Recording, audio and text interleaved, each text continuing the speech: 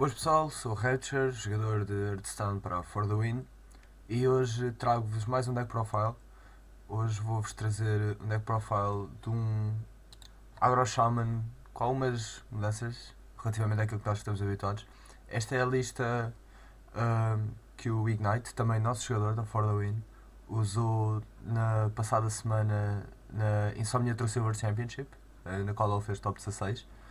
Uh, e usou também para, na passada noite, fazer uh, top 100 na ladder no servidor americano. Uh, mais precisamente, acabou no lugar 34 da ladder. e pronto, vamos começar por mostrar o que o deck usa. Começa com Earth Shock. Um, o Earth Shock foi uma carta que eu sei que o Ignite incluiu de última hora. Um, porque ele não estava a considerar usar, ele, salvo erro, no lugar do Earth Shock estava um Lava Shock. Uh, mas eles colocam que o Earth Shock era melhor na medida em que uh, Zoo é, uma, é um dos matchups mais complicados para Agro Shaman uh, e é um deck super predominante na meta atual. E o Earth Shock para os Nervian Eggs, uh, Salted Creepers e qualquer tipo de stunt que é obviamente o maior adversário deste deck. Perdão. Depois temos dois Lightning Bolts, Burst e Removal no early game. Um, Rockbiter Weapon, um, é tal e qual a mesma coisa que o Lightning Bolt. Uh, burst e Removal no early game e ao mesmo tempo tem a sinergia com o Doom Hammer. Uh, Double Abusive Sergeant para, para trocas mais eficientes e para mais um, dano na cara do adversário das Lepernomes. Estamos a falar de um deck agro. Lepernome é provavelmente das primeiras cartas que metemos quando estamos a construir um deck agro. Uh, Surfini Murgleton. Um, Finlay neste deck tem as suas particularidades. Uh, porque nem sempre vamos querer o Hunter Hero Power. Uh, nem sempre é certo que o Hunter Hero Power é a melhor escolha. Muitas vezes acaba por ser o do Warlock, que é provavelmente o segundo melhor Hero Power que podemos escolher com o Finlay porque o deck fica sem recursos muito rapidamente, especialmente nesta versão em que não usamos Ancestral Knowledge nem qualquer outro tipo de draw power. Um, o, outros Zero Powers como o Shift Shift, o de Druid, uh, tem a sua sinergia com o do Member também. Uh, e mesmo o Fire Blast, o Hero Power de Mage, também pode ser bom um, contra azul, mais uma vez, por causa do ping num, numa 1-1, no Imp ou numa Aranha. E no Mirror Match da Agro Shaman, uh, o, o Hero Power mais útil é provavelmente o de Priest, porque o Mirror Match ganha-se uh, com board control, ok? E o Priest Hero Power permite-nos fazer trocas eficientes, recuperar a vida uh, dos Flame Tongue Totems e dos Flame Jugglers e do Sodel Trog, etc, etc. Uh, lá está, está no Trog, uh, a carta que torna a Shaman possível. Esta carta jogada turno 1, como todos sabem, uh, tem um efeito snowball gigante se não é respondida de imediato. Com tanto, over, tanto overload que o deck usa, uh, Trog fica uma carta gigante em qualquer coisa como 2, 3 turnos, graças aos Storm Golems e Feral Spirits. Ski Crackle. Um, que, apesar do fator RNG, é um burst ending game. Um, conjunto do Spell Power Totem, até certo determinado ponto com alguma sorte. Um, conseguimos roubar jogos graças ao Crackle. Double Flame Jailer. um, e falo do Double Flame Jailer e vou já falar no Double Flame Tongue Totem e Double Goblin Stalker, que é provavelmente a carta que vocês não estão de toda à espera de ver aqui. Uh, existe toda uma discussão à volta de. de que two drops a Agroshaman deve usar. Uh, obviamente que usamos com uma carta como Whirlwind's Appomatic e pensamos, ok, tipo, uma 2 de mana, 3 de 2, Wind Fury, tipo, são 6 de dano na cara. Com Rockbiter são tipo 12 de dano na cara, ou mais. Um, ou mesmo Knife Juggler, um, que tão, estamos tão habituados a ver em decks como o Hunter ou o Azul. Um, mas essas duas cartas, o World's Up American e Knife Jagger, têm um problema, que é os dois de Elf. E na meta em que estamos, um, com Zu tão dominante, etc. Um, é muito complicado garantirmos que esses corpos fiquem na board. Uh, Knife Shackler mesmo neste deck não tem tanto value porque não temos tantos minions para estar constantemente a mandar pings. e o Zapometic é um minion frágil por si só. O Double Flame Juggler um, tem o efeito de ping também, que é bastante bom contra Azul e contra Paladin. Uh, apesar de ser random, mas pronto. É, o, que é, o que é importante aqui, tanto no Flamejager como no Gilblin Stalker, o Stalker ainda tem outra coisa mais importante, já vou falar a seguir, é o corpo 2-3. O corpo 2-3 que garante que fica, que garante que, garante entre aspas, não é? Uh, é, é mais resiliente no early game para usarmos o Double Flame Tongue Totem para mais dano ainda, mais rápido possível. O Double Gilblin Stalker tem outra particularidade que é o Stealth. um, o Stealth permite é basicamente, é basicamente a mesma teoria de, de Worgen Infiltrator em, em Face Hunter. Face Hunter usa o Worgen Infiltrator porque é um 2-1 por um demônio stealth, ou seja, está garantido que ele está lá para o turno a seguir para dar dor de dano. O Gillen Stalker passa mais ou menos pela mesma teoria. Um, na medida que lá está, são um corpo com 2 de dano que garante que vai estar lá do turno, mas tem 3 de vida, permite outras trocas, permite com a ajuda do Flame Tongue Totem ou do Abusive, matar um, um Gang Boss, por exemplo, uh, ou mesmo um Totem Golem no Mirror. Uh, foi uma ideia que, que o Ignite teve uh, para a Insomnia e que foi sem dúvida nenhuma muito boa. Ele disse mesmo que foi mesmo muito bom. e é engraçado ver um minionzinho de, como deste num, num deck de agro. Portanto, Double Totem Golem, tens 4 stats por 2 de mana, não é brincadeira, apesar do overload. Um, Double Feral Spirit para proteger os nossos minions uh, que estão a dar dano, nomeadamente o Tonotroll com Feral Spirit uh, é um snowball gigantesco. Um, e juntamente com os Flame Tongue Totems também. Double of a Burst, mais Burst. Um, Double Argent Horse Rider. Uh, poderíamos comparar o Horse Rider com o Wolf Rider ou o Arcane Golem, mas no, com o Arcane Golem nós não queremos dar mana ao nosso adversário para ter mais mana para responder às nossas coisas. Uh, o Wolf Rider, apesar de ser mais um ponto de dano, não tem o Divine Shield que o Argent Horse Rider tem, que acaba por ser muito importante porque quando estamos a jogar com decks de aggro não é só face, face, face às vezes interessa trocar também, fazer as trocas corretas, saber quando é que temos de trocar, saber quando é que temos de ir à cara para dar dano. Uh, o Argent Rider é versátil desse aspecto. E o Double Doom Hammer, uh, a carta que nós estamos uh, o tempo todo atrás durante o jogo, basicamente, porque é o nosso principal face damage dealer. E e pronto, e, e tem as suas sinergias com o Rockbiter Weapon e, e o Hero Power de Druids que conseguimos tirar do Sir Finley. E é este deck, vamos agora então passar para uns jogos com o deck. Thrall versus Garrosh.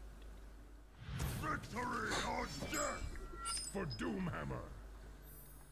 No Mulligan com este deck é super importante irmos atrás dos one and two drops. Há certos determinados matchups uh, em que podemos até ficar com o Doom Hammer se o resto da nossa mão for muito boa uh, e, ou se tivermos coin. Uh, Warriors seria um desses matchups, em princípio, em que ficaríamos com o Doom Hammer na mão inicial. Uh, como não temos, pronto. A nossa mão também é muito boa. Uh, creio que vamos mesmo ficar com tudo. Warrior é um matchup muito difícil provavelmente o mais difícil.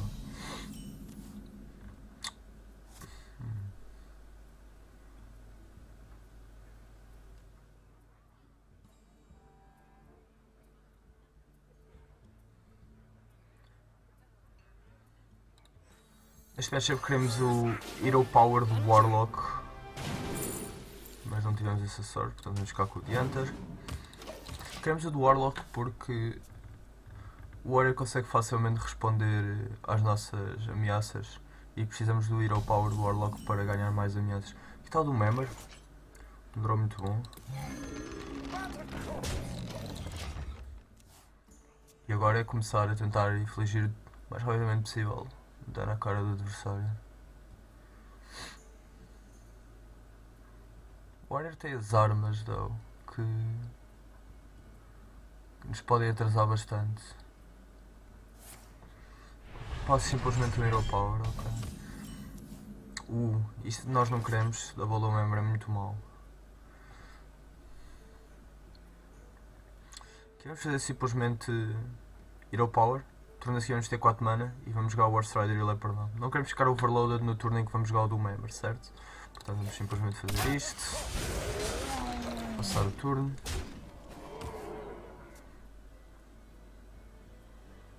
Uma coin Death Bite aqui para começar a dar com os nossos minhas provavelmente. Exatamente.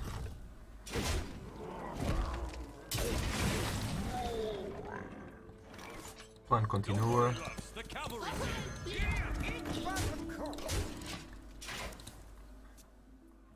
Podíamos uh, dar all off no Leper não, provavelmente. Apesar de serem dois dano que passa já na cara, provavelmente tinha sido melhor. Ok, ele vai gastar o Slam e o Hero Power, vai matar o fim. Isto é provavelmente Patreon, para não se estar a preocupar em dar armor up depois de atacar, porque ele não deve querer muito saber da arma.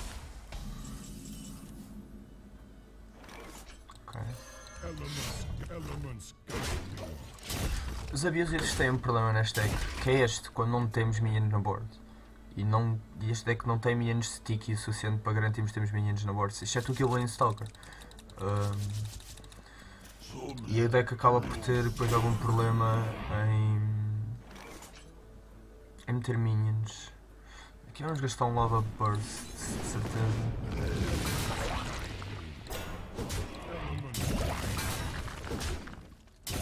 Vamos ter 5 de mana. Será que vale a pena jogarmos um Abusive? Acho que sim, para meter algum tipo de pressão.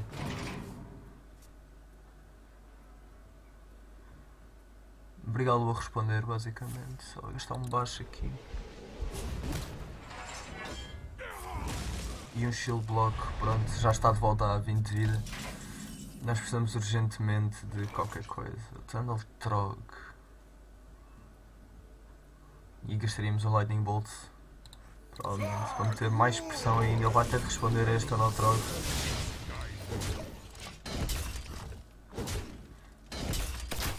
Como este é um matchup muito difícil. Ele estava a 12, recuperou para 20, agora já está a 11 outra vez. É mesmo muito difícil. E estamos a ficar sem recursos. Já só temos duas cargas na primeira do Memmer. Ok, temos o anterior power para estar constantemente a dar 2 de dano, mas ele mitiga esses 2 de dano com o power dele. Um, isso é muito complicado. Precisamos de um Rockbiter urgentemente. Olha está o segundo baixo aqui. Vai voltar a 16 de vida.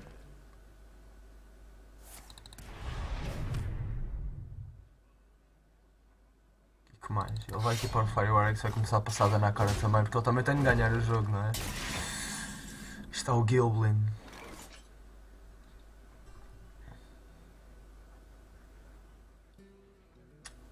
Devido a QS equipamos a segunda do Member em vez de mandar um Hero Power. Mas eu sinto que. não, sinto que. Jogamos o Gillen e passamos o Hero Power. Tentar passar o máximo de dano que conseguimos todos os turnos. Porque equipar o do Member não nos, dá, não nos vai dar mais 2 de dano este turno, mas o Hero Power vai. E garantimos que está aqui um Minion para jogar no próximo turno. Espera dar um turno. Pronto. Já sei cá. Provavelmente o jogo vai vai começar a descamar a partir daqui. Nós não temos mais recursos, um Crackle. Portanto temos 4, 6, 8. Temos 25% de hipóteses de ganhar este jogo. Portanto se calhar não vamos já já o Crackle.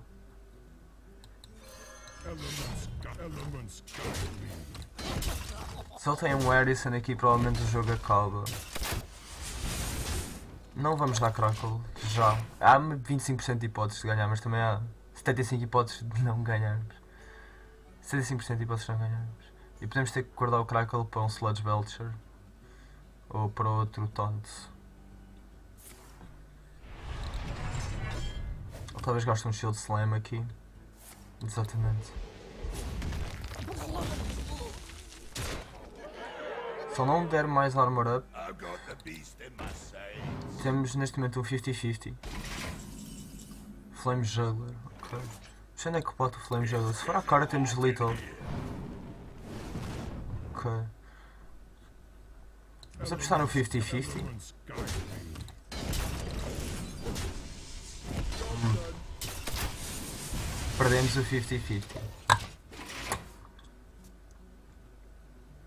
Vamos perder um 50-50 e provavelmente vamos perder o jogo. Temos 6 de dano e ele faz armor para 5. A não ser que ele uma shield Madden e faz para 10. Veremos, só tem. Tem 13 de dano. Ele se tiver um Grom e um. E um Enabler. Ok. Depois disso pode ter o Grom, mas não ter o Enabler. Ok. Shield Maiden ou não? Shield Maiden não fica a 10 e precisaríamos do Rockbiter. Que é isto? Dr. Boom, ok, pronto.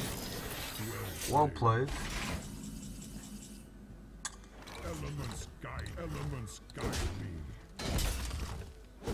Ganhamos então. Ganhamos um matchup que é provavelmente um dos matchups mais difíceis, que é contra o Warrior.